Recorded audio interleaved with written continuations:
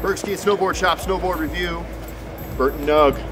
Contrary to popular belief, folks, size doesn't matter anymore.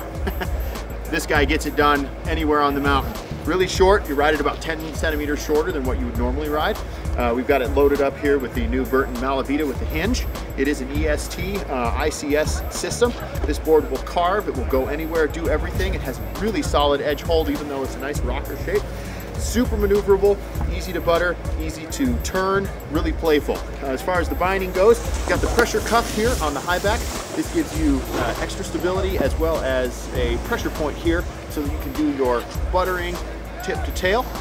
Lots of stability with this binding. Uh, not too stiff, nice and nice, nice and lightweight. It also has the hammock here in the back section of the high back for extra boot stability and uh, heel hold.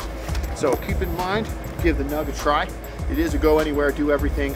Small board, but uh, what to say, big performance.